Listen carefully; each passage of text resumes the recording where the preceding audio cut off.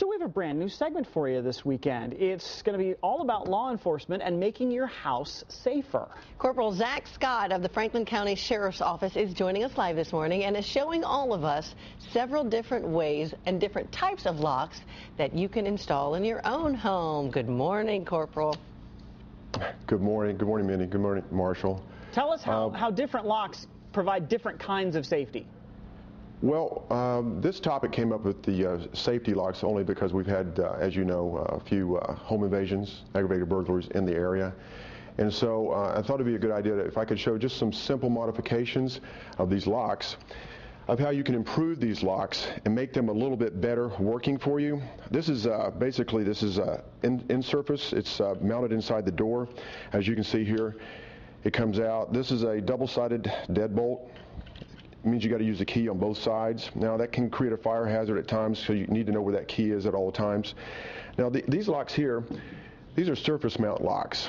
This is your basic deadbolt. This, they call this a night latch, and it's because if you go out the door and you let it close behind you, you get locked out. This here is called a jimmy lock. Uh, it's a single-sided deadbolt, and over here is the double-sided deadbolt, which means again, you have to know where your key is. And what it does is if a bad guy breaks in your house, he doesn't have a key, he can't get out the door. He, if he broke into a window or something like that, he's got to go back out that same door. So now each one of these work to a degree pretty decently. But one inherent problem they do have is they, they use these type of screws when I suggest that we use this type of screw. Obviously this is not even an inch. Yeah, this is a big three inch.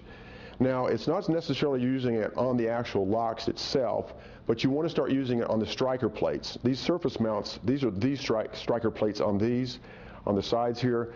They're just put on the sides for displays. But on these here, which is on my front door, which is obviously this one right here, and let's go over to the door here. This is your striker plate area right here. This is your striker plate. Now, that's what you want to try to reinforce to let the door, I'm sorry, let the actual lock work a little bit better. And as you can see, this is going to go through basically your trim. Mm-hmm. And if we use one of these screws, we're going to go past the trim and we're going to grab a hold of the actual frame.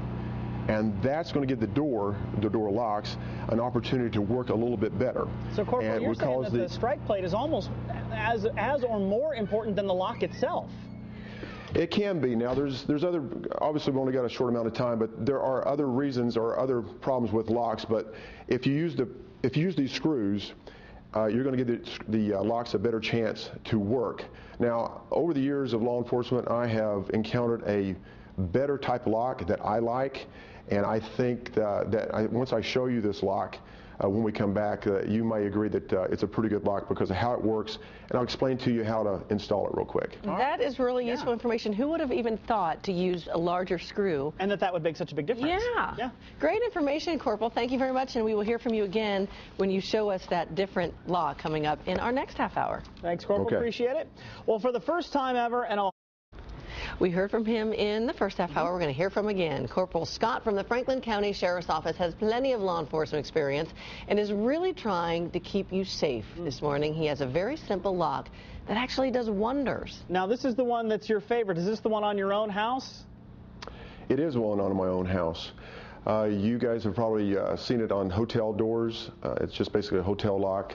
Uh, I like to call it like a slip lock or a slider lock. And this is actually the lock here. Uh, I did plan on trying to install it here with you guys today, but it takes about 10 minutes. My dad and I worked on it yesterday for about 10 minutes. It's very simple to install. It's basically by taping these two brackets here, you want to make sure that these brackets are about 3 8 inch apart. And you want to make sure you use a, uh, obviously I had to screw these in, and you want to make sure that you use a pilot screw when you're going through this door. Now, again, just like on the other locks, what's a very important feature again is the screws on these locks. This screw here is the one they give us with this unit. Mm-hmm.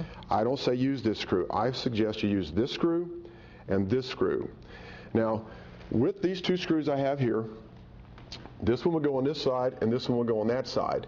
You want to make sure that you don't get too long a screw that you would actually penetrate the door and go through the door. That wouldn't be a good thing.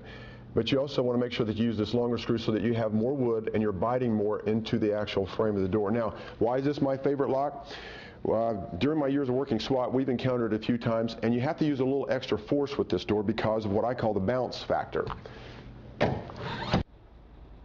Every time this takes a force, it, it, starts bouncing, bouncing, and bouncing. Now, what happens with this, when the bad guy comes to your door, he's more focused in this area here. So when he kicks the door and tries to apply force, he's eventually going to defeat this lock only because it's stationary. This up here starts bouncing. It's not stationary. Now, here's the other good feature about this. You guys can't hear it, but Every time this uh, door opens up, my alarms are chiming. So the bad guy's on the outside. He's kicked the door. He hasn't made entry into the door. The alarm now is going off. It's signaling for the cops to come his way. He's still on the outside of the house. He's still out there trying to make a decision. Do I need to go in here or going off? So at that point, he's got to make a decision. Do I want to continue making all kinds of noise? Do I want to continue uh, being out front where people can see me? or do I need to get out of here? Right. Hey, Corporal Most of the time, how expensive? How expensive is that lock, and where can people get them? You can get them in any of your you know hardware stores, and like I said, my dad and I we put it in about 10 minutes. Very simple. Um, and it's one of my favorite only because uh, it, it, keeps him out, gives him, uh, you know, a harder uh, time trying to break the door, and it's more noise. Corporal, what like about said, that window right next door? Wouldn't it be easier just to break the window and then unlock things? Absolutely. Now, the thing of it is, you got to remember, he doesn't know this is here. Okay. Right. So again, he's spending more time outside, and uh, I have a segment coming up about these windows here, probably in a few weeks, that we'll talk about some way to, to make that safer. But uh, you're right, he doesn't know that's here. And again, once he does this, what's going on? The alarm is now ready to start exactly. going, and he, he runs. He's still outside. He hasn't made entry into the house yet. Okay. So that's right. what we want to do. So try that. It'll make you sleep a little safer at night. Thanks. Brilliant. All Thanks, right. Corporal. We'll yeah. see you in a few weeks. Okay. Thank you, sir. Well, he's making tackle after tackle.